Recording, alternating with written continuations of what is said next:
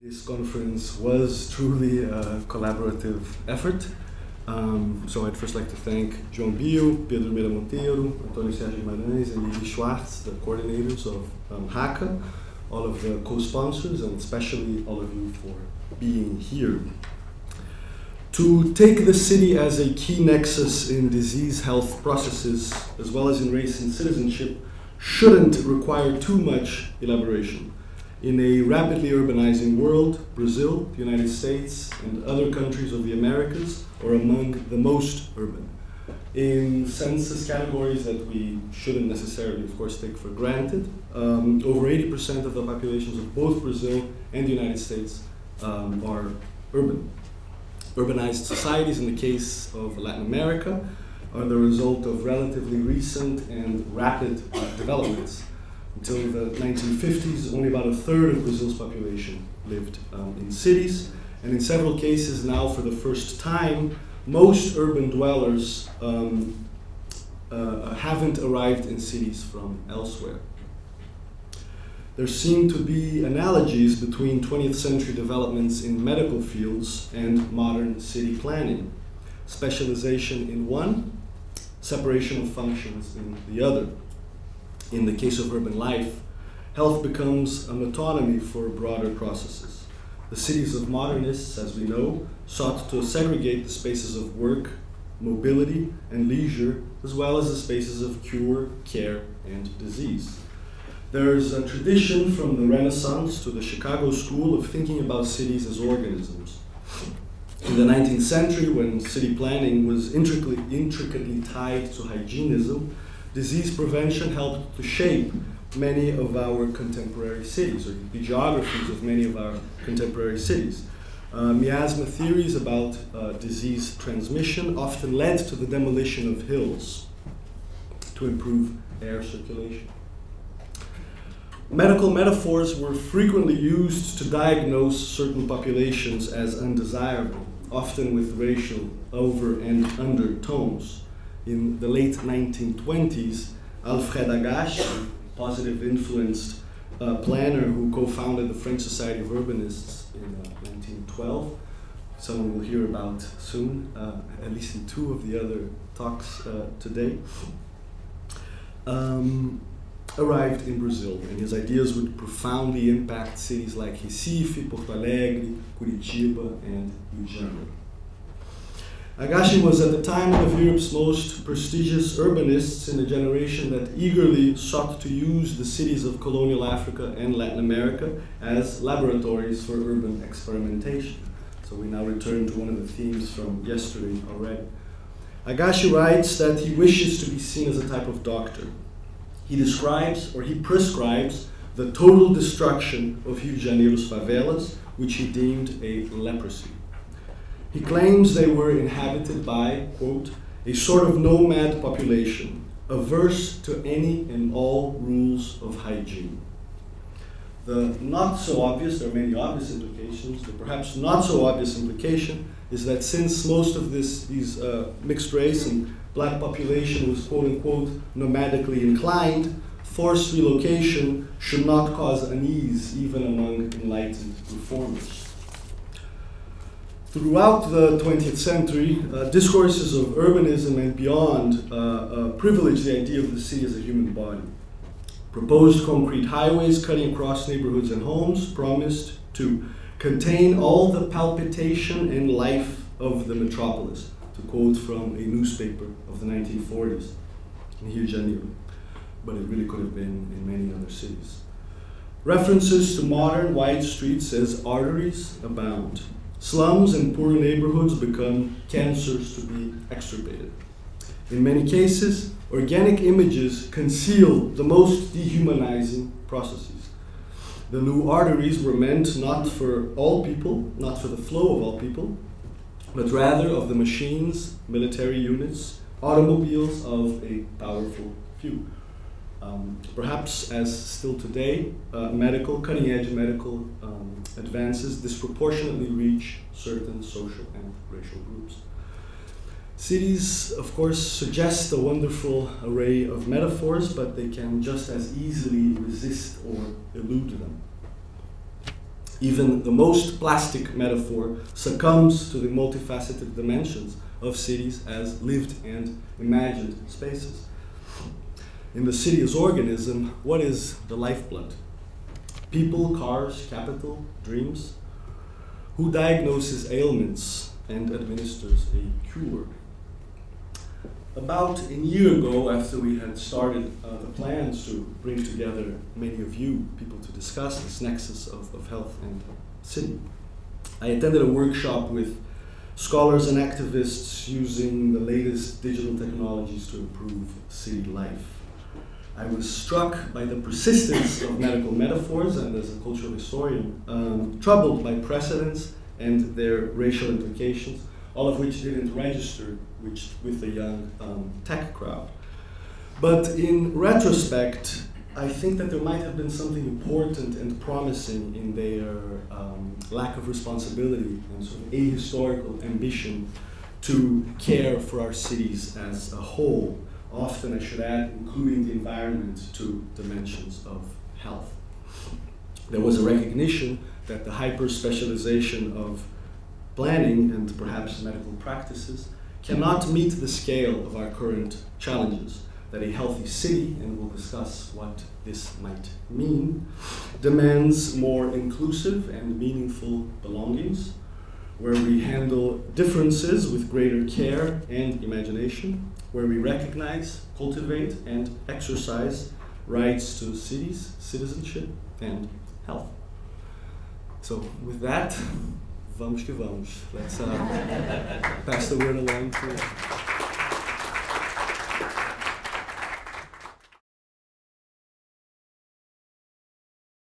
I'm not a historian, so there are lots of people here in the room that I even cite in my talk that know much more about me. But I work with public health, mostly malaria, and I think history is absolutely crucial to be able to do my work so I can understand what I see now based on what happened in the past. So we do a very lousy job in public health looking at history, but I, I try to look at it in, in my work. So before I jump into Brazil, I just want to give you two examples of the different dimensions that the discussion between health and race could really have in the past.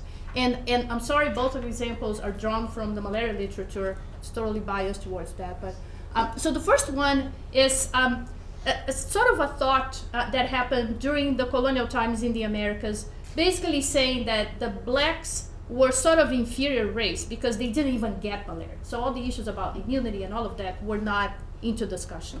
And the second one, a slightly different perspective, much more recent. So this is in the late 50s, early 60s, when the malaria eradication campaign um, of that time failed. Um, that um, some somebody from USA basically said, well, maybe it didn't fail. Maybe it was a good thing because then you don't have all those people from the developing world reproducing at very high fertility rates. So those two examples give you an idea, just a sample of how this discussion between health and race really took place in the past. So what I'm going to do now is walk you through a few facts and events that happened um, in the past um, in Brazil. and I'll start with the colonial times after the royal family came to Brazil, and then the early uh, republic time. So um, starting from the colonial times, I'm really going to talk about Rio here. That was the capital uh, at the time. That's where the royal family was. That's where the central administration was located. And when we talk about Rio, we have to talk about something that it's a little bit understudied in the literature, which urban slavery. We talk a lot about slavery in the rural side, but not so much in the city. And it was very present in Rio. So if you take the period between 1808, when the royal family came in 1850, Rio re really had the largest slave population in the Americas. Um, and after 1850, the population started to decline because of several diseases, TB, yellow fever, and several epidemics of cholera. Now, there are three things that I want to highlight here, and, and the list could be long, but I'll talk about those three. The first one is slaves were not allowed to use shoes. Shoes were a symbol of freedom. So just to name one disease that was quite common was tetanus because they're doing all their jobs barefoot. And those jobs include, for example, carrying people when the streets were flooded. Okay. Um, they used to live and sometimes work in locations that were known in Rio for fevers. And fevers here are not just malaria, other diseases as well. Um, and when they were really sick, that their owners thought they were gonna die, they were basically left naked on the streets to die. And it was very expensive to do a burial. So the police would wait until there were many of them to do a mass burial. So you can start imagine the health conditions that Rio really had at that time. On top of that, there was no drainage system, no sewage system in the city. So everything was on the streets. And one of the jobs that the slaves in the city had were to carry all those waste matter and dump it directly into the ocean. And here there are two illustrations. The one on the left are slaves working for the royal family, and they're carrying all the waste matter in the barrels to dump into the ocean. And the second one was a routine job done daily, usually at night after 10 p.m., when the slaves are carrying those baskets with all the waste materials, basically feces, urine, and rats of dead animals that were on the street, and dumping them into the ocean. Okay? Another thing that is really crucial to mention here um, is that between 1850s and 1860s, there was this proliferation of a type of housing in the city called cortiços. And here there are two photos to sort of exemplify what they really were. Um, there was a massive migration to Brazil in the 40s because of the boom of coffee. So people living in those areas, and, and as you can see, there were several rooms. Um, the population density in those areas was really high, really packed, um, and the cleaning conditions not necessarily were the best. But you have here people living that could not afford other housing, and sometimes people that didn't have jobs. They were migrants and they were the freed slaves. Okay? Now, it is in the, this context that there is an idea that is revisited by some of the politicians in Brazil. So there was this concept of dangerous class that was proposed by an English writer, uh, Mary Carpenter, in 1840. And, and she proposed this concept in a very specific context of crime. So there was a very clear definition of what she was calling dangerous class. And the politicians sort of revised it, revisited, and adapted in a totally distorted way. And what the idea at the time is a good citizen in the city is somebody that works hard, likes to work, is able to save, and using those savings to have a nice life. If somebody cannot make savings, therefore is a poor person, probably that's an indication that person doesn't like to work or doesn't work hard. So you have this shift basically linking the poor to being a dangerous class. And the blacks became immediately the most common sus suspects of being dangerous in the city. Um, so we start having this issue that was raised yesterday by Lilia that it's it's race as color, but it's also the social status that starts to be uh, blended. Now, um, the other thing that the government then did was to look at this dangerous class and sort of blame them for the epidemics, for the diseases. So they basically were claiming that the living conditions of the this population, basically of the poor, um, was the reason why there were so many diseases um, in the city. And the focus of public health at that time becomes cleaning the houses of the poor, of the dangerous class. So it becomes the total focus on hygiene.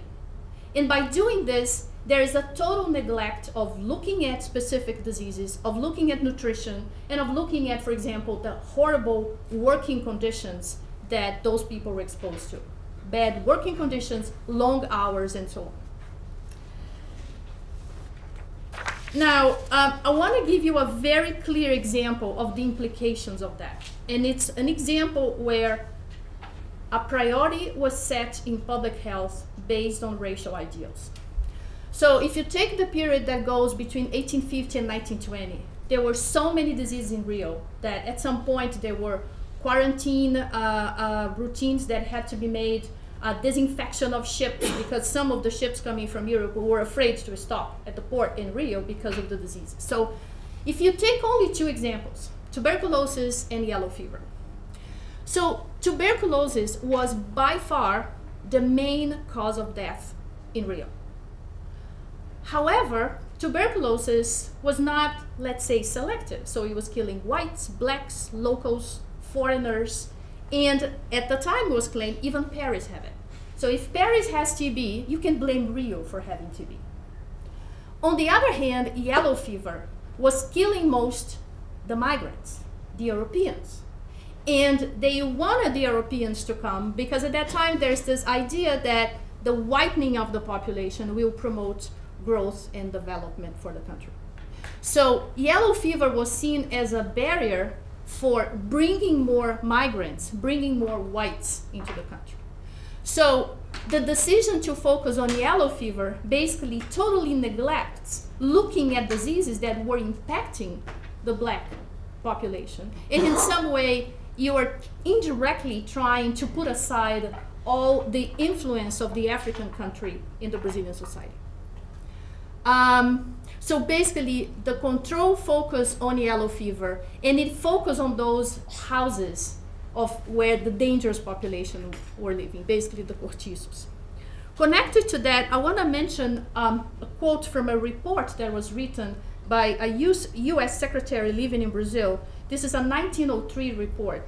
And basically, what he says is that smallpox and TB killed large numbers of colored people. We talked about names yesterday, that's the expression that is used uh, playing an important role to the whitening of the population, which would contribute to make the giant of South America, Brazil, a viable investment.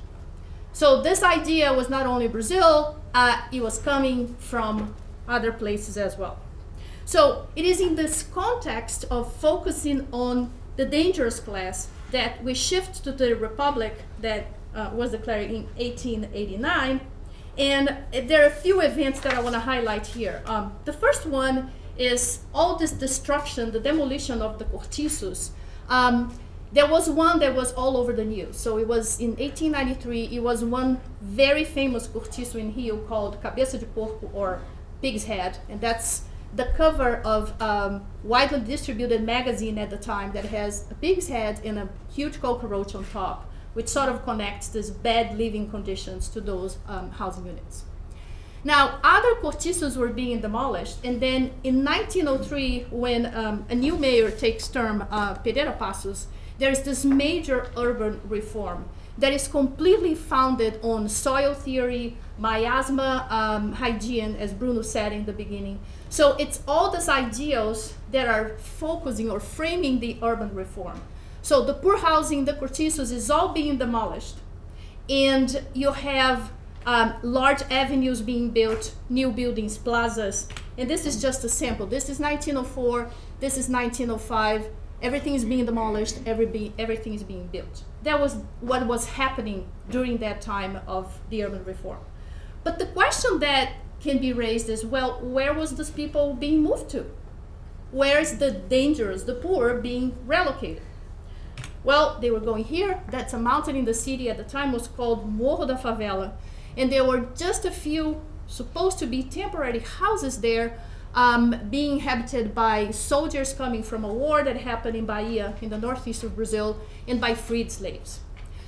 The folks living in cortiços, after the cortiços were demolished, they could take the wood and they used the wood to build more houses in here, which again were supposed to be temporary. The irony in this story is that the urban reform, which was framed based on all this health ideals, miasma and soil and so on, marked the beginning of the favelas in Rio. In this one place, you can see how it evolved in 1920, 1977, and now, now it's called Morro da Providência, and it's one of the favelas, one of the slums in Rio. So this whole initiative of making the city look like Paris, like the Belle Epoque, created all the favelas that we have till this day. It's in this context of looking at the poor as dangerous, moving them in, in a forced way, that we have another big event uh, in, in public health um, in Brazil, which is the revolt of the vaccine. So in 1904, there was uh, the smallpox vaccine became mandatory and force could be used to vaccinate people. Now, this was imposed without any kind of information about why the vaccine is good, so people didn't really perceive the benefits of the vaccine.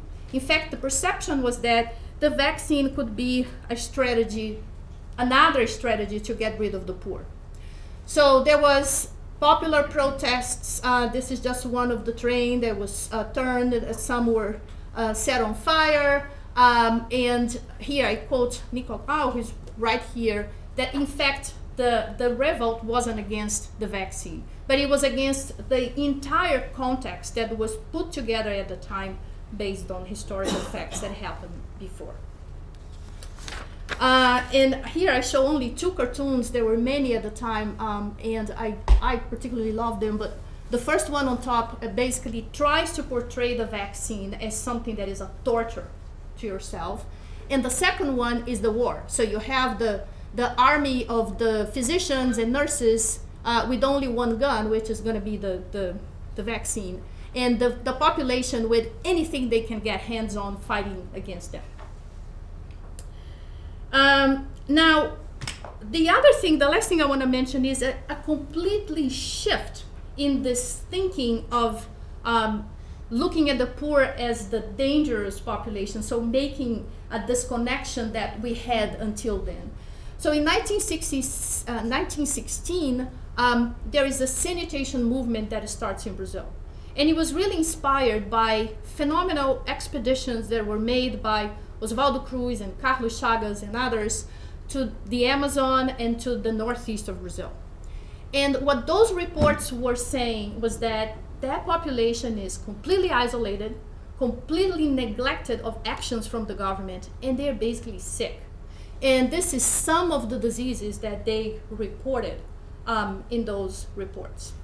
So in 1916, in a speech uh, in the medical school in Rio, uh, Miguel Pereira basically said, well, the problem of Brazil is not race, is not climate.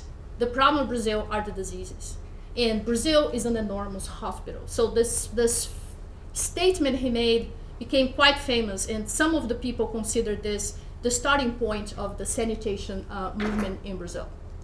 Now, yesterday we mentioned literature, and I also bring literature here, um, and I want to mention two. The first one, Euclides da Cunha, um, so I mentioned one book, Os Sertões, which was translated as Rebellion in the Backlands, that became the reference book for the sanitation movement when he basically portrays those people living in the interior areas as completely isolated, completely forgotten, sort of the invisible population without any resources, without any care. And the second one that I want to mention is Monteiro Lobato. And the reason I'm going to mention him is because he changed opinion over time. So in 1914, before the sanitation movement, he created this character that was sort of the stereotype of underdevelopment in Brazil. So he called him Jeca Tatu, and he was basically the dangerous class. He was lazy, he didn't like to work, he had no savings, he was poor, he didn't care at all about the country. Independence, abolition, he doesn't care. Um, and there were several jokes at the time being made. So if, if you you could call a poor person, oh, you are Jeca Tatu, okay? Now this was 1914. The sanitation movement comes, and then something ring like a bell ring in his head, and four years later he comes with a new character, now called Jeca Tatuzinho, and you can see. So that was him before. So he has like the cachaça, the drink, and it's not working um, he's just holding his dog. Look at him now. So he cured all his diseases. He became the symbol of the sanitation movement. Um, he prospered. He has a nice farm. He has animals. And what I really think is interesting is that he's fat now. But that's a, another side story. And smoking, right? And smoking, right? So, so he's doing everything wrong. But now he's, you know, he's the symbol of the sanitation campaign. And he really embraces those ideas that Forget about race, forget about climate. The key issue that is stopping Brazil from developing are the diseases. Now, an important thing is all, all this discussion had a very heavy environmental component. So it's not about treating people, but it's about changing the environment where they live. And on the left, you have the house of Jeca before the sanitation. And there are three words in there it's dirty, you have diseases, and he's poor. Then you shift to the right, that's his house after the sanitation. And now the three words are health, comfort, and prosperity. Okay? All right. So, um, I hope that I gave you a flavor of some of the historical events that really helps us to understand some of the inequalities and some of the problems that persist in the city the way the cities are growing and here we're talking about Rio not necessarily fix those problems they actually augment some of those problems um, and I sort of shifting forward in time I can give you two examples that are happening now that sort of show this inequality that, that we can see looking at socioeconomic status. So uh, if we consider one of the major disease problems in Brazil now, it's uh, non-communicable diseases. So if you take all the mortality in Brazil, about 70% are due to NCDs. But when you look at the distribution by socioeconomic status, uh, both morbidity and mortality are much higher among the poor. The second one, which I think is a ticking bomb in Brazil, is the issue of overweight and obesity. So currently you have about half of the adult population overweight and about 10, how much is it? And about 12% obese. Um, and that's the adults. When you look at 10 to 19, it's about 20 overweight and 5% obese. That's huge. And this happens in every single socioeconomic strata, but when you look at the percentage increase over time, it's increasing much more among the low income families. Now, I want to finish uh, quoting something that Keith said yesterday. So he said, the city is a place where the pursuit of good health was always, has always been imagined. And if you read some of the recent reports from UNFPA and from the UN, this thought is very much in there. So I guess the question is, why is this not realized if all the opportunities for good health are there in the city or should be there in the city? And, and I think it goes back to the title of this conference. It has to do with the rights, with the differences, and with the belongings. Thank you. And it's really a great opportunity to come to Princeton. That's my first time here. And to meet uh, so many colleagues and I mean new, new people and also to meet João. I, well, the last time I met João was 15 years ago in Boston, so that's kind of a, it's very good, very nice to meet him again. And Ad Adriana, probably I'm going to see her tomorrow. And uh, I would like to start by saying that when I arrived at Princeton two days ago, and I got the folder for the conference, I find myself at unease in a way. Because uh, I was a, really a, a little bit um, concerned. And I even mentioned that to, to Lily and, and, and João, because that's my paper, this kind of complex name there, pharmacogenomics, human genetic diversity, blah, blah, blah. And I thought, my God. So I felt myself in the subtitles, actually, not really the, the main title of the So, uh, but it was really, I mean, yesterday uh, we were discussing about uh, João, Lily, uh, Keith, Weilu, and Arcadio were talking about difference, sameness, and power, about belonging, right, and justice, uh, about naming, uh, visibility, inclusion, invisibility, exclusion, role of public intellectuals, and I mean that's what I'm gonna be talking about. Actually, Th these are my topics in a way, and uh, it was very nice that uh, I mean that wonderful overview that Marcia presented because I sort of start where she stopped, in a way. So I'm gonna be talking about this, these issues, uh, looking in 21st century, looking about DNA, looking about genomics, and talking, but talking about actually uh, Brazil as a racial laboratory. So that's a very old topic. That's uh, how how this is uh, playing in the age of uh, genomics. So this, this, this work is part of an ongoing uh, project that I'm carrying out with uh, several other people on, um, I mean, on population, human, uh, human population genetics, um, human biological diversity in the post-Second World War period in Brazil. I mean, there is a lot on race, on eugenics in, in, in Brazil, and everywhere actually, before the Second World War. And there is a the group of scholars that's becoming very much interested in what happened after the Second World War, where sort of uh, genetics, in a way, helped to defeat race. But at the same time, race is coming back in a very strong way in current genomic science. That's what I'm going to be want to talk, I want to uh, talk to you about. So this paper, uh, it's co-authored by Glaucia Silva from uh, the Department of Anthropology, Federal uh, Fluminense Federal University in Rio, and uh, a cooperation also with Sarah Gibbon from the Anthropology Department, University College in London. Having said that, this is my main subject here, just molecule in a way. So warfarin, that's this molecule, is the most widely prescribed anticoagulant drug in the world. It's normally used in the prevention of thrombosis and thromboembolism, that is, the formation of blood clots in the blood vessels. It was uh, initially introduced in the late 1940s as a pesticide against rats and mice. And in the early 1950s, warfarin was found to be effective and relatively safe as a, an anticoagulant for human use. As warfarin activity is determined partially by genetic factors, there has been a lot of interest in understanding its pharmacogenomics.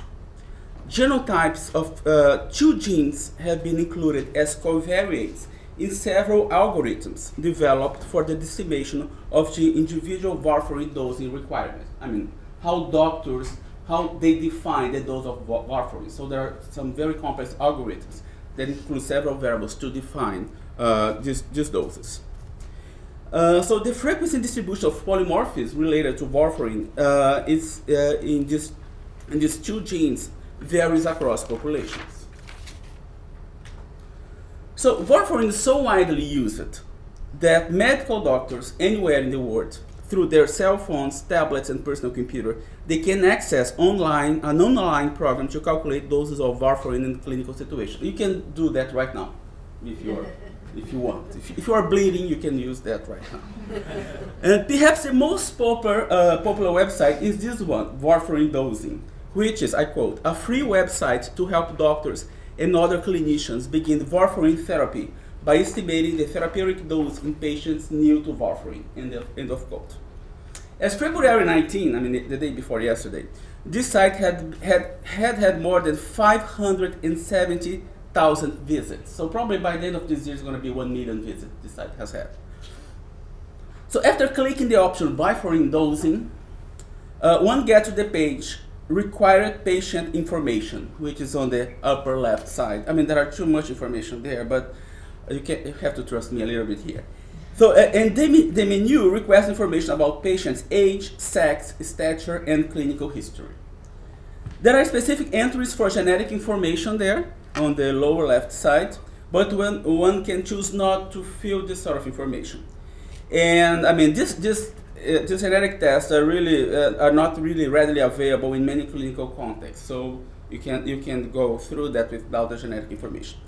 But there are particularly, uh, we are particularly interested here in two specific questions.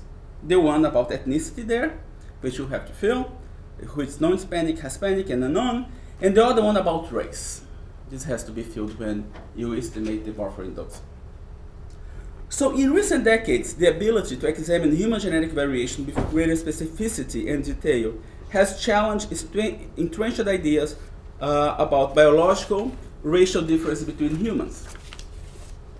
The unexpected revival of discussion in interest around race in the context of genomic research has been highlighted by several authors. In the recent collection uh, edited by Koenig et al. Uh, entitled Revisiting Race in a Genomic Age, it is noted that, I quote, contrary to expectations and hopes, post-genomic science has revived the idea of racial categories as proxies for biological differences, end of quote. Kiswei Lu, in a recent edited volume called Genetics and the Unsettled Past, The Collision of DNA, Race and History, he wrote, I quote, Our genetic markers have come to be regarded as portals to the past. Analysis of these markers is increasingly used to investigate and judge issues of social membership and kinship, to rewrite history and collective memory, and to open new thinking about health and well-being. End of quote. Pharmacogenomics occupies a very central role in the debates about how contemporary biological and medical science is reviving the idea of racial categories as proxies for biological differences.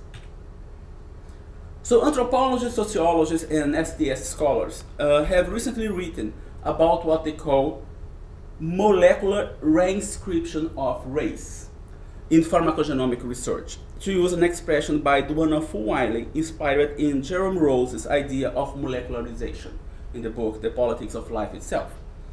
She, as well as uh, several other doctors like uh, authors like Catherine Bliss, Jonathan Cahn, Sandra Lee, and Michael Montoya, just to mention a few, have argued that public funding for research on the action of drugs in countries like the US requires that racial classification of research subjects should be considered when defining the composition of the samples as well as in data analysis. In a controversial arena, once race is included in research design, it is created the possibility of interpreting that whites and blacks are so distinct that pharmacogenes present in the genetic background of black people would be absent from the genetic background of white and vice versa. Finally, she carried out research in two US pharmacogenomic labs, and, and she detailed, and I quote, how a team of scientists invested in understanding pharmacogenetic difference in US racial groups maintains idea of racial homogeneity and intergroup distinction with regard to genetic variation.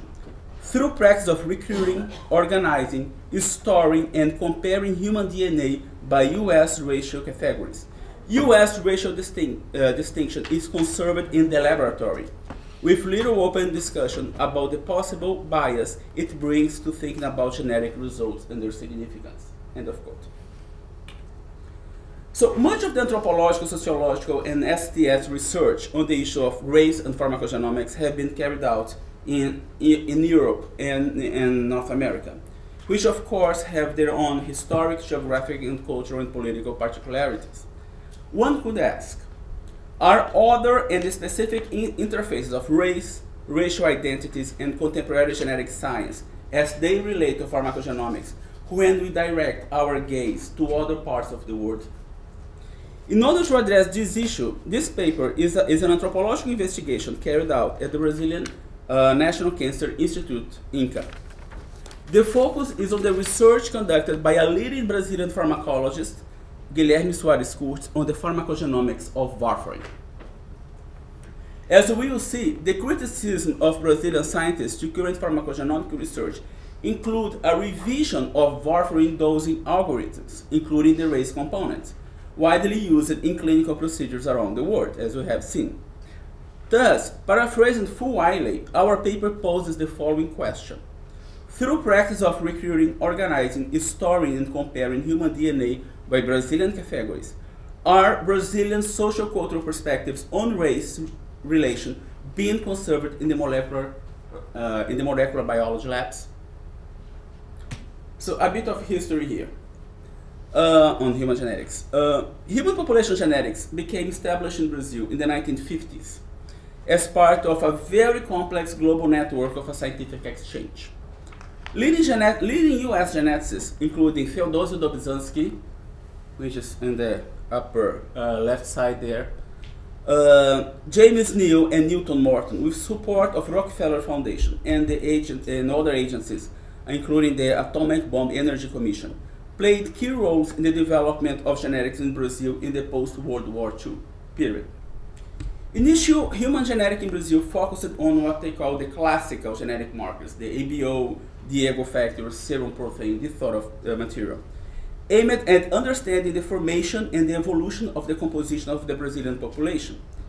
This body of research came to be known as racial mixture studies and aimed in particular to establish the relative contribution, and I quote here, of white, Caucasian, black, Negroid, and Indian population to the gene pool of the Brazilian uh, people.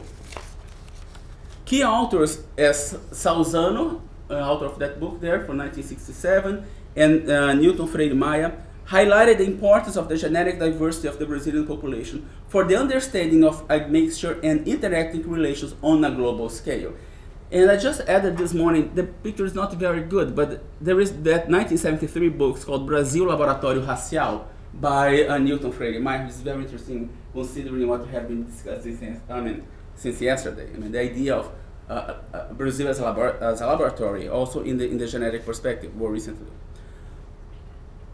So, uh, so currently, Uh, Sérgio Pena, from the Federal uh, University of Minas Gerais, is one of the leading Brazilian human geneticists. And I'm listing here some of uh, some major references I'll be talking about here. I don't have to memorize them. I don't have to copy them. Just to, to, I can follow my, my, my reason here. On one hand, a Pena publication in the early 2000s, exemplified by the two references above, reveal a discursive continuity with racial mixture studies, in particular in its emphasis on the high degree of miscegenation of the Brazilian population. This might be exemplified by his findings of a vast majority of Y chromosome uh, of European origin in the Brazilian population, at the same time that approximately one third of the mitochondrial DNA haplogroups, talking about uh, patrilineages, matrilineages here, uh, are from European, Amerindian, and African uh, origins. In 2003, Pena uh, published in the Proceedings of the National Academy of Science this, this, third paper there called Color and Genomic Ancestry in Brazil. In this study, which was based on the analysis of morphological traits and on a battery of so-called ancestry informative markers, which are genetic markers from, uh, to indicate ancestry origins, from the nuclear DNA, they, they concluded, I quote, our data suggests that in Brazil, at an individual level, color, as determined by physical evaluation, is a poor predictor of African ancestry estimated by molecular markers. End of quote. We would need much more time to address the many repercussions of this, that these studies have had, not only within the scientific community, but also in Brazilian society at large. On one hand, Pena, Pena's writings about the history and present situation of racial relations in Brazil, including recent publications like this PLOS, uh, this one here on the bottom, uh, which also focuses on that mixture, have been greatly disputed by some social movements. On the other hand, it has received a great deal of attention by the scientific community and influenced pharmacogenomic research. So Soares Kurtz uh, was a faculty at the Federal University of Rio de Janeiro from the 1960s to 1990s, when he carried out research in the fields of physiology and pharmacology. From the start of his career, he traveled extensively abroad for study and research, and he would continue the research that he developed at institutions in France, England, and the US when he returned to Brazil, sometimes adapting it to local conditions. In the 1970s and 1980s, he continued in Brazil the, the studies on muscular physiology using crayfish as the experimental model that he was developing that research in New York actually. But he had to adapt that model uh, and he was using a small blue crab endemic to the Brazilian seacoast because it was sort of very difficult to import to Brazil those crayfish back then.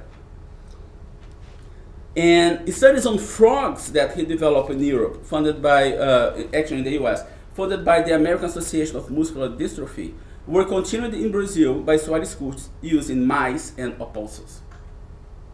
In his search to unite creativity expressed by designing novel experiments with continuity by readapting the experiments begun abroad to local conditions, Soares Kurtz developed an approach that incorporated autochthonous sub-objects and subjects as essential elements in universal models.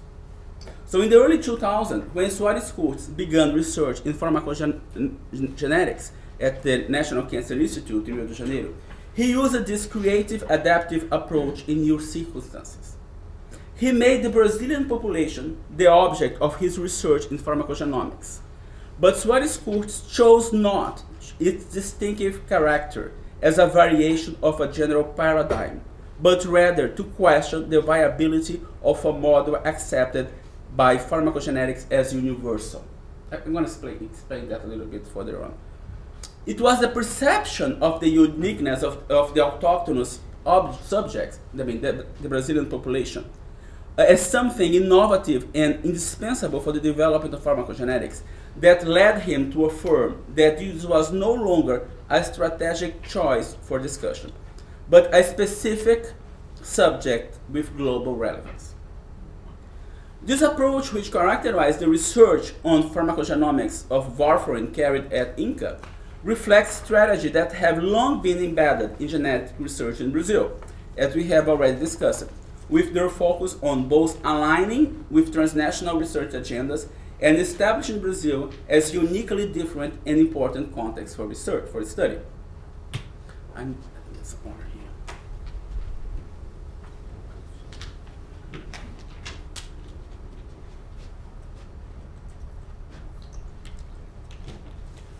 So one of the main papers published by Suarez Kurtz and his team on pharmacogenomics in recent years focuses on warfarin dosing.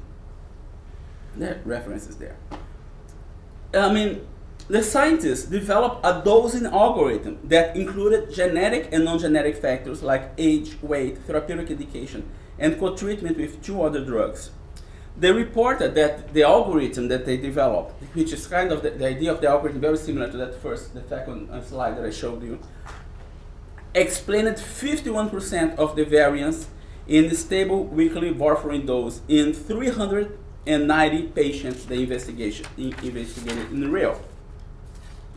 A major argument of the paper is that the algorithm's predictive, predictive power was similar across the self-identified race color subjects. That is, race color was not associated with stable warfarin dose in the multiple regressions.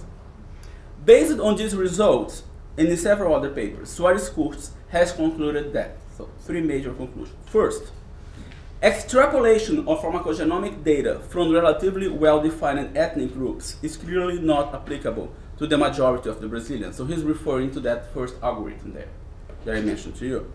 Second, the frequency distribution of polymorphism in pharmacogenes varies continuously among Brazilians and is not captured by race, color, self-identification. That's very much along Sergio Pena's perspective of the individual set of race and other groups. And third, the intrinsic heterogeneity of the Brazilian population must be acknowledged in the design and interpretation of pharmacogenomic studies in order to avoid spurious, spurious conclusions based on improper matching of study cohorts. Okay, four more minutes and I finish. So, going beyond strictly scientific articles, Soares Kurtz has published opinion pieces directed at the general public. In these articles, he stressed how, in his interpretation, Pharmacogenomics and the genetic diversity of the Brazilian population relate to public health policy. In 2009, he published an editorial in Caderno de Saúde Pública, Report of Public Health, one of the leading journals in, in, public health in Latin America, which is affiliated with the institution, I mean, the Oswaldo Cruz Institution, uh, of the, that belongs to the Ministry of Health. This journal is one of the main Brazilian periodicals that carry academic papers referring to the National Public Health System, SUS. In Brazil, this system includes all areas of health, from outpatient care to organ transplants, with the intent of providing, according to the law, uh, complete, universal, and free care for the whole population of the country. In this, uh, in this, in this editorial, he, he wrote, I quote, the results of our research show that the heterogeneity of our population must be dealt with as a continuous variable, which cannot be adequately represented by arbitrary race colors category. In pharmacogenomic informed context, this implies that each person must be treated as an individual rather than as an exemplar of a race, and that the notion of race target drugs it is unacceptable. End of quote. This is my last slide. My, my last slide.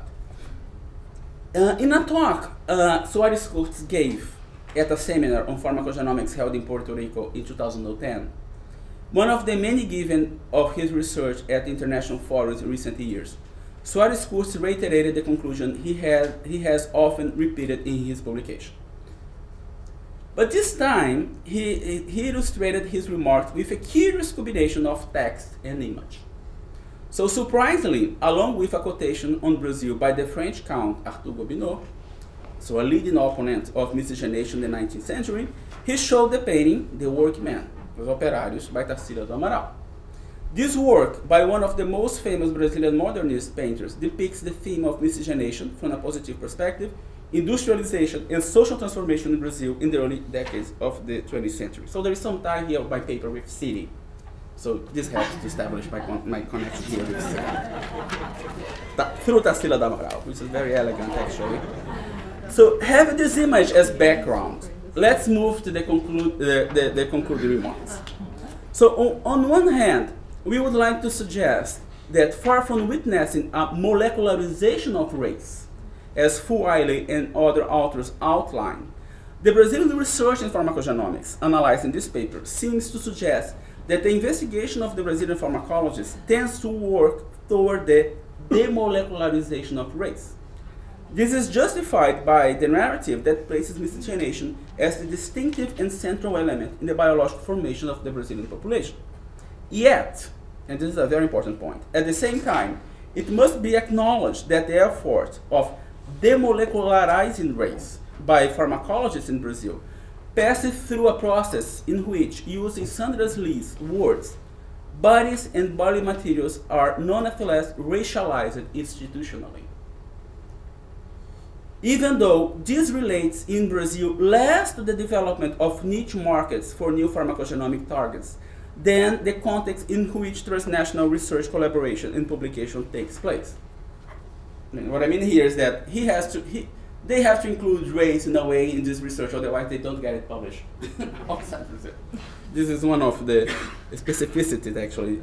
Uh, in other words, uh, we can perceive in the work of Kurtz and his collaborators the use of a heuristic strategy where it's clear that even while there is a critique of the use of racial categories in genetic research, there is necessary use, value, and incorporation of categories and taxonomies that are somewhat race-like. We call this racialized to deracialized. Throughout this paper, we have tried to show that pharmacogenomics in Brazil must be understood as a scientific practice deeply embedded in the values and history of the society where it's produced. In this sense, there are significant differences, but also similarities, with arguments recently put forward by scholars who have analyzed the interface between ethno-racial categories and pharmacogenomics in the contemporary uh, literature on anthropology and uh, anthropology of science. Uh, so I stop here. Thank you.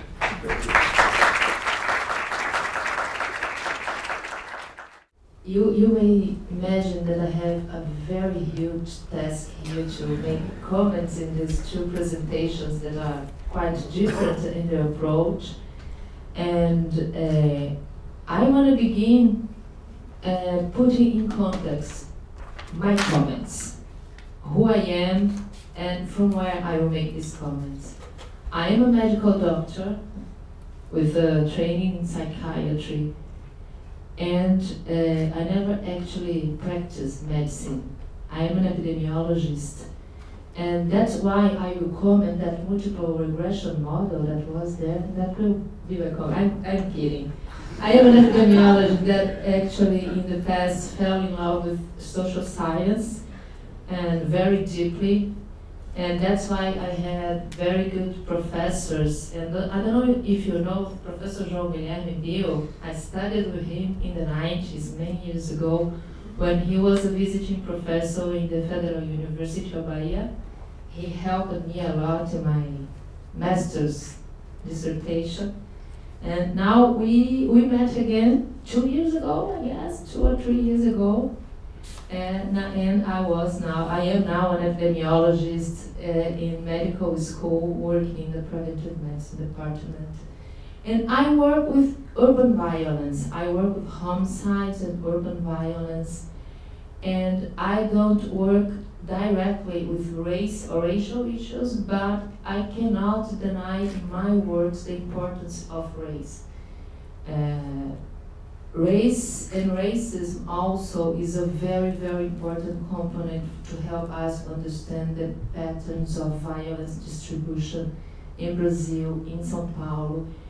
And uh, that's how my interest in racial issues that comes from the view of an epidemiologist who deal with urban violence and homicide in a country like Brazil, in a city like São Paulo. Uh, but I, I, I will finish this context and I will start to do my homework. Okay, I have to make smart comments and questions about these two very different presentations, and I'll try to do this. Uh, so I, I want to thank also to Marcia and Ricardo because they both had very, very interesting and inspiring talks and bringing very different questions that cover the whole temporal spectrum from the past to the present and the future because Ricardo's issues put questions for us uh, to think the future and how care, medicine, and uh, research in this field, uh, what, what it is produ uh, producing. Um, in Marcia's talk, um, uh, Uh, it was quite clear that race through history have have in the present it still has had and have a very special place as an operator in the health field. Race thought as categories that in Brazil are based mostly in the color, in the skin color. Like was said yesterday, color is language in Brazil, color matters. Race thought of as a qualitative or a categorical variable, to use an epidemiological terms. We talk about blacks, whites, pardos, that is a category for lots of things. That's a taxonomic perspective that in Brazil at least relates mainly in the appearance, the traits, the skin color. Um, it had and still had has a very clear hierarchical dimension or component, a clear idea about superiority and inferiority, characterizing also a social status or a social position. It was also presupposed the existence of biological differences between races.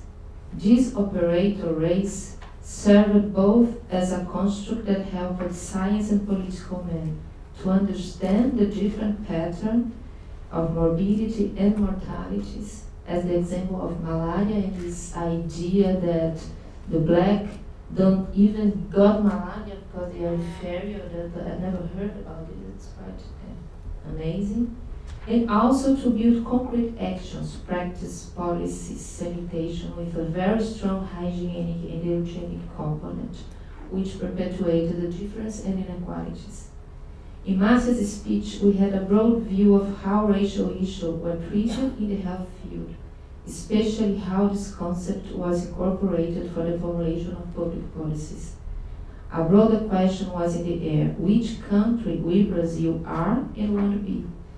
It was in course a project that she mentioned all that she mentioned also and yes yesterday also to build a nation, to build our nation.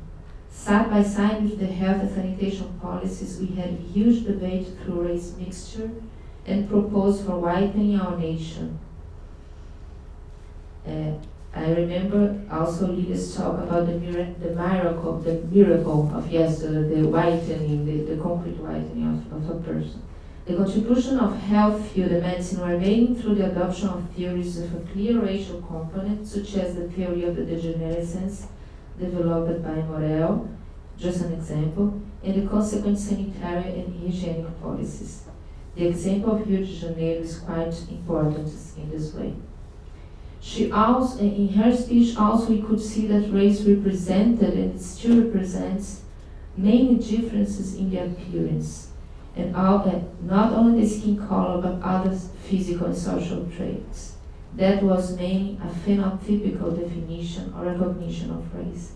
There was a strong connection between race and social status with very important consequences to the way we think about races and inclusive policies in Brazil. Ricardo's speech deals with a very up-to-date topic that is genomics, more specifically pharmacogenomics, and the idea of a reinscription of race or the revival of racialized approach. That means a new biological approach to race and the inclusion of this category in the delineation of health practices, taking as, ex as an example warfarin dosage, but that in health practice as a whole. There are lots of very interesting points we could discuss here, but we don't have, I have time limitations, so I will select some of them. Ricardo's talk brought us to the present and the future. Today, in the genomics era, phenotypical race is, no, is opening space to a genotypic race, explicitly inscribed in DNA. It is possible to think that in Brazil, at least, as stated by the pharmacogeneticist, the race thought of bio biologically and the race thought of as a social construct that is highly anchored in the social status and in the skin color, the apparent traits split apart, or more precisely, do not correspond anymore.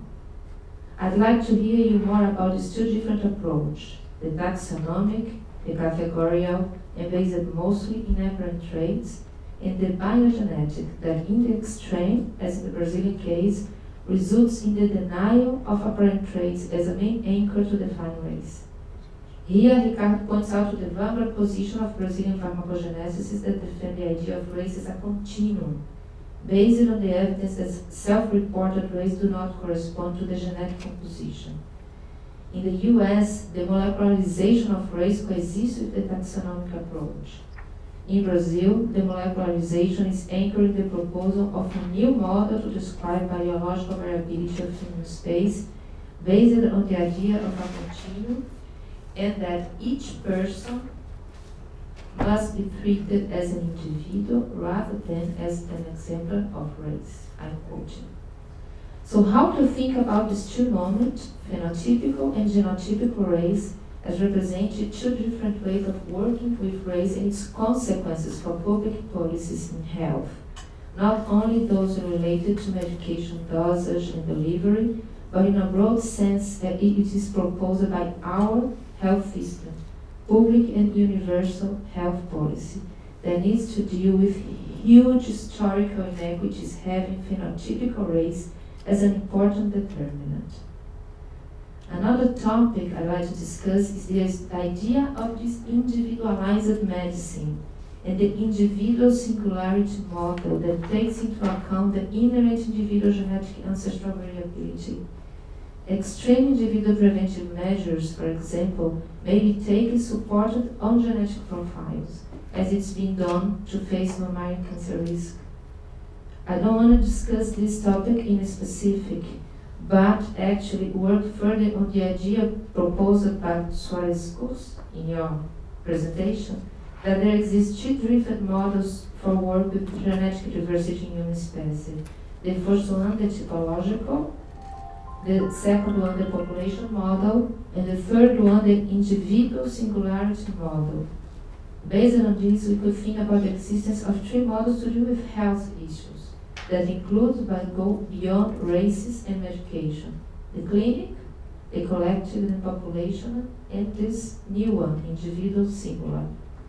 This took me back to the curse of Foucault. That's why I studied Jean Guilherme. Everything about Foucault. I don't know why. Named Society Must Be Defended, em defesa da sociedade. In the lecture of March, 17th March, Foucault talks about the birth of biopower, a new technology of power that takes life events in the population expression as an object.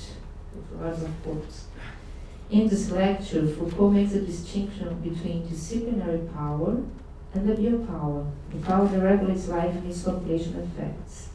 And in your talk, Ricardo, you bring this new era into perspective, the genomics era, the focus now is not the individual as a disciplinary body, nor the regular populational phenomena, but the genetic profile. It's a radical movement for a new object, which brings new perspectives for health field. We had up to now two general models to think about health policies and care, the clinic and the collective of public health. One taxonomic, disciplinary in some extent, and the other centering the population, its expression, and as a main focus correction. Now we have this individual medicine, this individual singularity model that takes into concern not the ill of person with clinical diagnosis, but the potential to illness that genetic profile express. So I'd like to hear about this. And there are many other aspects that could be explored. One is the political economy of knowledge production and publication, and how Brazil is being put in this. The actual idea of a knowledge that part from the that presuppose the existence of a racial purity and which knowledge it is. It is also how made me think about this other idea that is working with Foucault, is that uh, the biopower uh, makes, uh, marks in any sense the birth of the state racism and how to think about this. But I think I will stop here and to, to hear you, you both about this issue and thank you again for the invitation. I'd like to thank uh, all you for this very, very warm reception for us. Even the snow is perfect, it's beautiful, everything is very nice. I'd like to thank also USP uh, in the name of Lilia, Zé Ricardo, and Helena, the FFLCH Medical School and Public Health School, uh, to make possible with Princeton this collaborative network that is so rich and, and good for us. Thank you very much.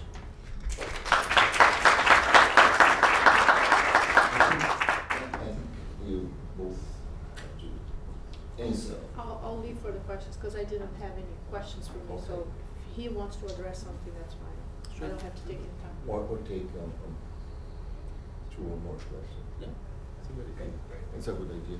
Uh, I'm a moderator, but I was so provoked by you. Can I make one a comment?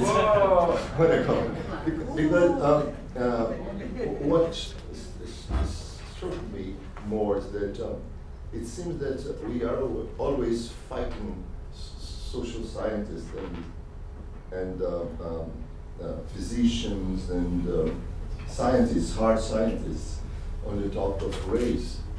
Uh, um, that's interesting because in the past, and the Marxist talk was very, in this aspect, was very uh, um, clear about it. Uh, race was a kind of um, way of uh, making natural social oppression of blacks. And um, even in a genocidal uh, perspective, that is the, the idea that uh, it's not disease or, or, or hygiene or epidemiology, it's, it's, uh, it's race that is. And, and then in Ricardo's uh, speech, what you see is that uh, somehow uh, there's this tendency of making this struggle um, against, for civil rights against oppression that takes race as a marker, as um, a scientific, uh, a, a, a, a way of, of, of dealing with uh, scientific categories.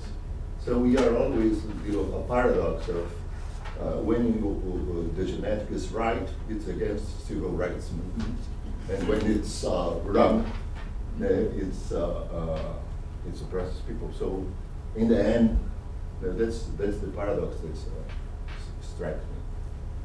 So it's uh, a little open to. Four of you have this beautiful panel, and I have this very focused questions. I must say, I love this panorama that you gave us, and maybe you had no time to talk more about the other side of this panorama. Because for a long time we called this period that you wrote the laws as the old republic, the República Velha. And now we know that this term was created by Getúlio Vargas, in the sense that to show that he was the, the president of a new era, a very modern era, and the other one was an, an old one. So, and when we give this kind of images that, that, that are real, we don't show the other sides. Could you talk a little about the other side? Perhaps we had these interventions and all those things because the First Republic was a moment of a lot of fights. So we had the Palestinian revolt, but we had the, a lot of other revolts, a lot of other complaints, and even in those places like the, new favelas and so on, people were fighting and were trying to create new new formats for the city. And also Monteiro Lobato, that you used very well the example, he, that's true that the Jeca Tatu changed a lot, and Laura and I, and we were talking, and he whitened it in the second image. But we know that Monteiro Lobato continued using race as a marker. that was not the end. You know? mm -hmm. And Ricardo, I really like the idea. I would like you, maybe you could talk a little more in the part that you couldn't talk because you stopped, about this new idea of a laboratory. Mm -hmm. What kind of laboratory we have now? I was wondering because I remember Nina Rodrigues saying at the last, at the end of the, the 19th century, that if Brazil was not an old country to be recognized like an old country, if, if Brazil was not a rich country to be recognized as a rich country, Brazil must be different. And we were different because of our race. When you, you talk about Soares Kurtz, is he trying to work with this paradox between universal and particular? And do we have something particular in this universal environment? Or do, does he have to translate? There is something to translate, or the new laboratory is just universal now? Thank you so much. Pedro e depois uh, Eddie. Okay, it's very quick. Uh, thank you very much, and uh, it's a question for Marcia. I, I, really enjoyed the panel you just gave us of the turn of the century, the first decades of the first half of the 20th century in terms of health in the city. But I, I have a question of le about leisure. I mean, what role does leisure play within this whole uh, scenario, this whole uh, panel? Because on the one hand, you have leisure clearly being associated with illness. I mean, this the Lobato uh, model, so to speak. But you have all the discussion around the modernistas. I mean, the leisure is sort of a leisure is sort of a form of resistance to uh, the lethal power of uh, the advance of civilization. And leisure is in this way connected to the rights of the workers. So uh, it's, it's very double, I don't know, it's very, very uh, disturbing, I think, the, the, the, the, role of leisure. So I just would like to hear about that. I, think uh, Eddie, uh, one more, and then Ed can. I really enjoyed the panel, but my question is for, for Ricardo. Um, you know, I'm, I'm trying to figure out what kind of resonance do these, does this, um, does this ethnicizing pharmacogenomics have? I mean, I'm thinking of, of the ethnic drugs, uh, BiDil, and there's several others that have come about, and I'm thinking of, I mean, I can see the pushback from some of the academics but what about the population in general? I mean, I can see American pharmaceutical companies saying, wow, what a great market, Brazil, look at all those, look at all those ethnic people.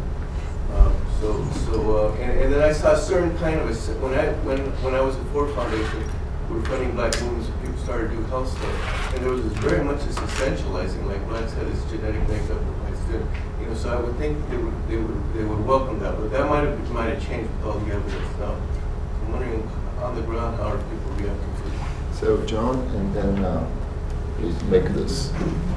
John. My question is actually connected to, to Andy's question. That is, thinking about um, politics of knowledge.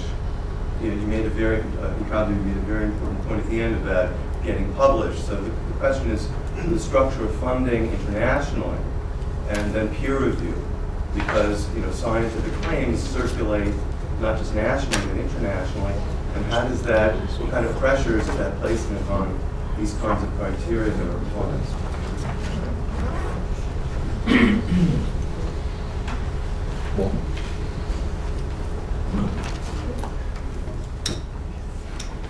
Okay, so um, sort of this issue of the other side, it's, it's interesting that you raise the sort of this dual thing from Monteiro Lobato. Um, and it's not only him. If you take one of the main leaders of the sanitation campaign, Belisário Penna, um, he was also part of, uh, um, I forgot exactly the name of the group. I have this written somewhere, but it, it, was a group created in Brazil around the same time to talk about eugenics.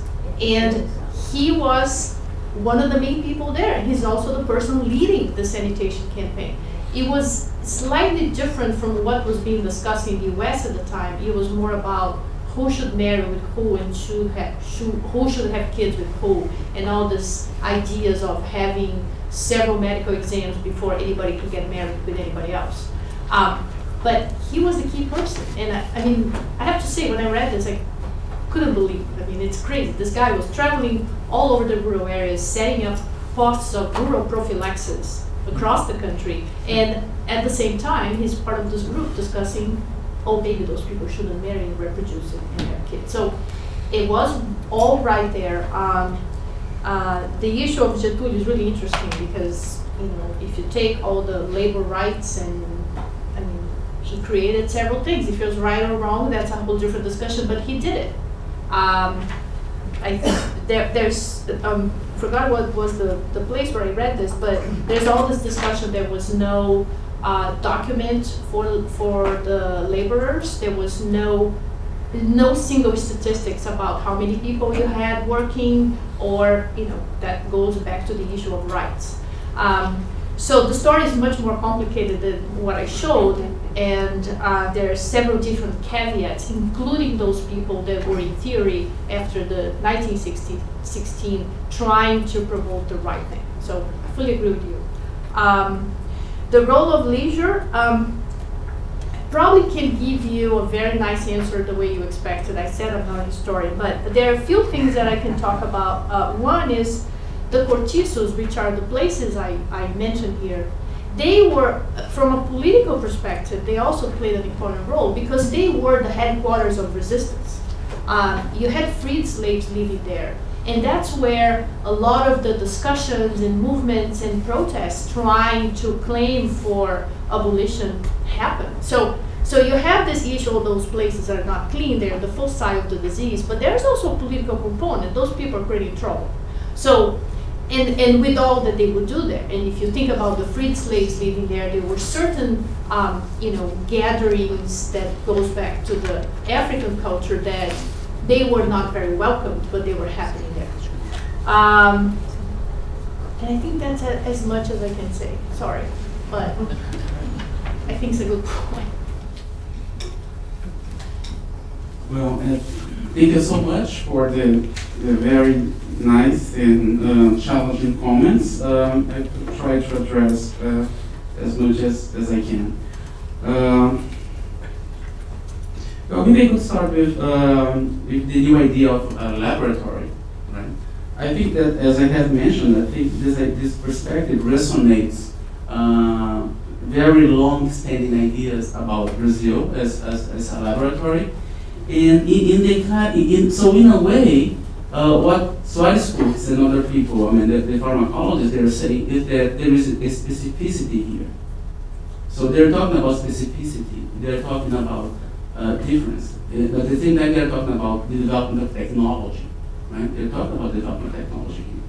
So in a way, uh, one of the things that I showed, you're certainly not going to remember, is, is uh, how Soares puts his perspective. He's trying to broaden that and bring uh, Brazil as an example of an admixed population that should be studied uh, in terms of pharmacogenomics, also trying to bring data from India, from other places. So that's kind of a, there is this south to south perspective about uniting or bringing together that mixed population in terms of kind of fighting a, a, a technology, fighting a model that's from, is from the north.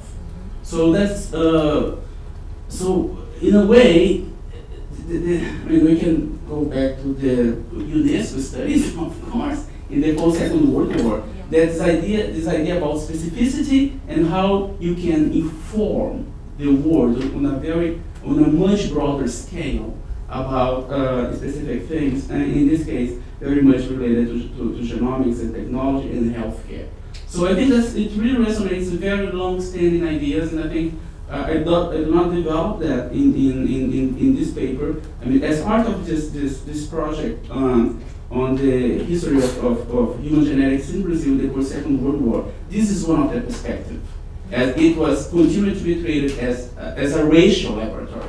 Whatever, I mean, whatever the geneticists meant by race. But that's, I mean, that's their perspective. And, and that's how actually they would name some of the books, as, as I have mentioned.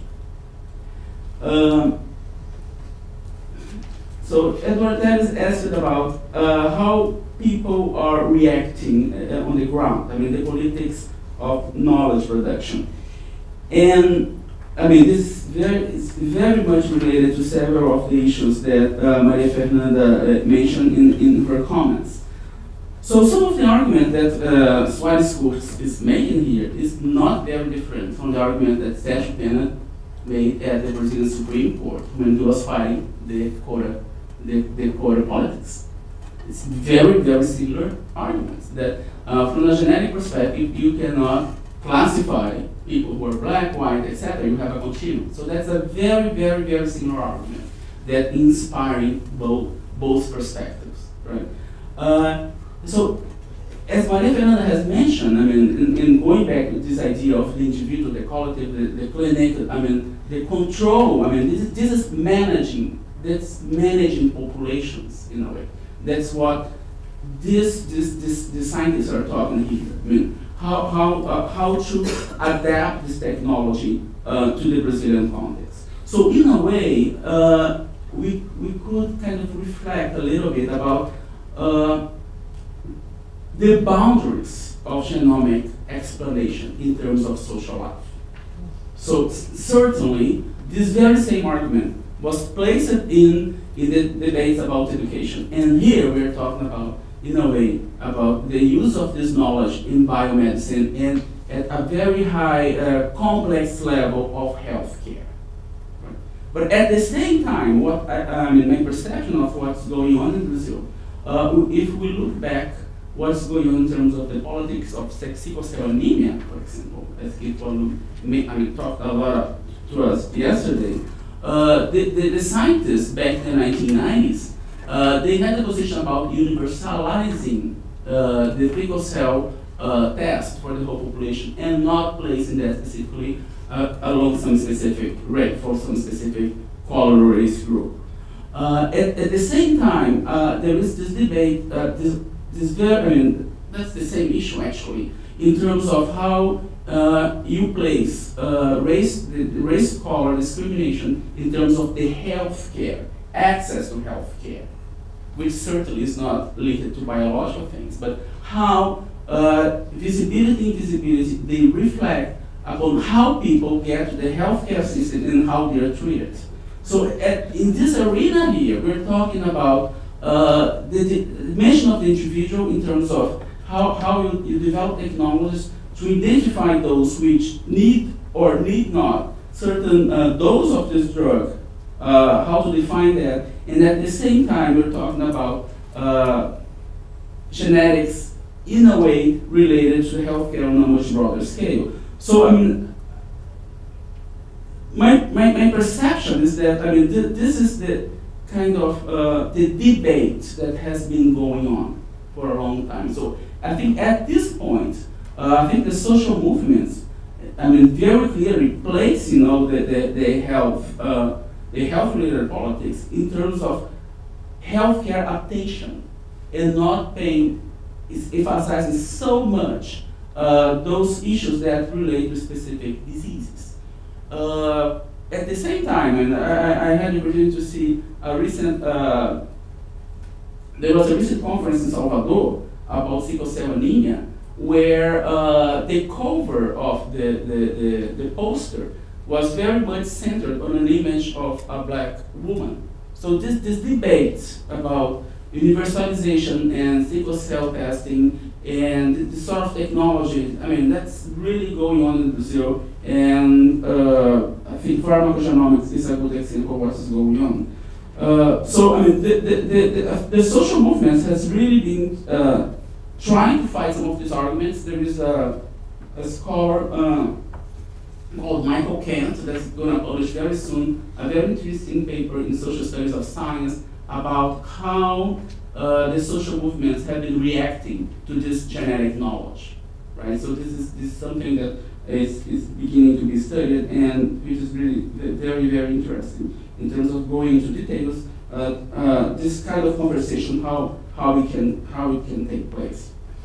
In terms of uh, Br Brazilian samples, which is really a very interesting issue. I mean, how these Brazilian samples, they participate in this international network of science. And I, I mean, we have that in the paper in terms of these multicentric studies uh, aimed at getting samples from all over the world for uh, defining a new uh, algorithm for warfarin dosing using uh, samples from all over the world. So, so uh, Soares was telling me that he sent maybe 500 samples for, for this multicentric study, but only, I don't remember the names, uh, the numbers very well, but just 50 got uh, included in the sample because most of the samples were from Pardos, and they did not take the Pardo samples in these multicentric studies because they just couldn't define what Pardo is.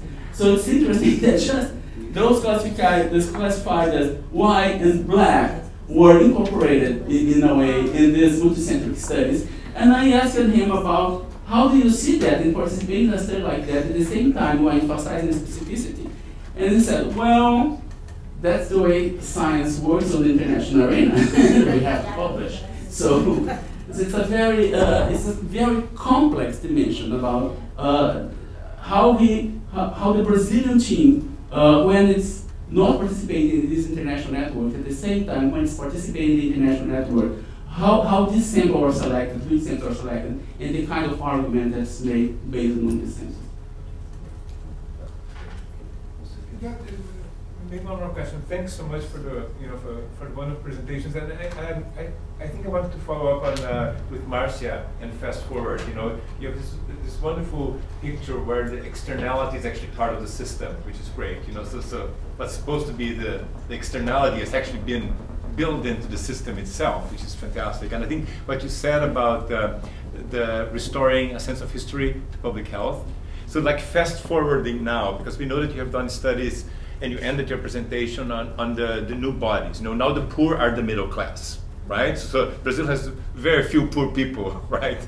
According to the latest statistics or, or imaginations of the government. You know, by and large, it's a middle class country. You know, and then it's a different body too, right? It's a different body. But also, so, so if you could tell us a little bit fast forwarding, you know, the question of regional differences, because that was so important in bringing about public health in Brazil. So how regionally you see variations in, uh, in this morbidity, mortality, and the non-communicable, you know, and uh, we, we, I know that you have done some work there. It would be helpful for us to think where, how this is playing out regionally in Brazil.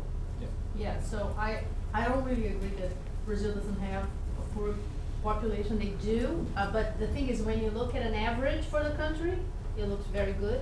Any kind no, no, of. I'm, I'm not saying that I believe that. I'm no, saying no, the demographic of the I government. Uh, so uh, the regional differences are still there. So if you take one indicator, for example, that I, I did a lot of work with, infant mortality, which is a proxy for living conditions and so on. Um, infant mortality has declined across the board pretty much everywhere in Brazil. But when you look at the inequality in deaths, in infant deaths, it's still the, the poor that is disproportionately experience more deaths among the infants.